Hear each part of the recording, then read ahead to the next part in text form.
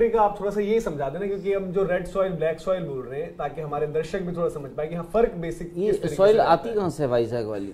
देखिए दो तरह की सॉइल है ना। एक है इस तरफ़ वेस्ट से आती है जो। हाँ। वेस्ट में आती है वो जो रेड सॉइल होती है अहमदाबाद के पास। और एक जो आप उड़ीसा के पास से आती है जो.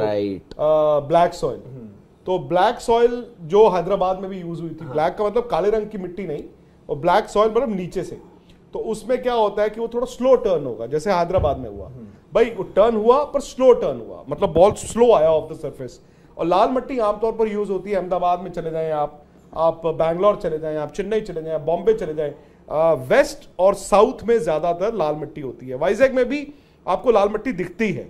उससे क्या होता है कि आ, वहाँ पर बॉल ना थोड़ा ज़्यादा बाउंस मिलता है और थोड़ा तेज आता है। द मोमेंट आप कहें कि स्पिनर का बॉल टर्न हो रहा है तो टर्न अगर तेज होगा और उसको बाउंस मिलेगा तो स्पिनर यही चाहता है। एसडी टेस्ट से आप बॉल डालते हो तो थोड़ा एक्स्ट्रा बाउंस मिलता है और बॉल टर्न होके क्विक आता है। द मोमेंट आप कहें थोड़ी ब्लैक सॉइल है तो वो बॉल टर्न होके थोड़ा स्लो आता है। इसमें खराब क्या जल्दी रेड ज़्यादा मतलब जैसे दिन रेड जल्दी भूर जाता है बट नहीं ये भी भूर सकता है। हाँ। अगर आप इसको ड्राई छोड़ देंगे तो ये भी भूर जाएगा। लेकिन अब सवाल ये है ना कि जब आप कहते हैं ड्राई छोड़ना है तो टेस्ट मैच से माइनस टू जैसे आज का दिन हो। आज कितना पानी आपने उसको दिया है? अगर आप डैम्प कह रहे हैं अगर आप कह रहे हैं कि आज वो डैम्प थी थोड़ी सी विकेट तो मतलब ड्राई तो कैसे होगी फिर? फिर कल आप बिल्कुल पानी नहीं देंगे। बिल्कुल पानी नहीं देंगे और रोल कर देंगे। बिल्कुल पानी नहीं देंगे रोल करने से क्या होगा? वो फिर सरफेस जो है ढीला भी हो सकता है।